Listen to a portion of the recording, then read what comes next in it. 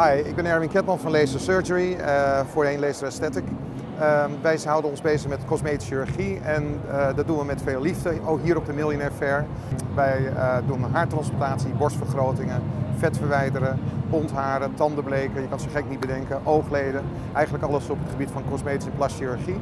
En op de Millionaire Fair loopt natuurlijk onze doelgroep waar we heel blij mee zijn. Uh, we hebben ook twee keer in Moskou gestaan, waar we eigenlijk nu vijf jaar later nog steeds onze vruchten van plukken, dankzij de Millionaire Fair en ons product natuurlijk.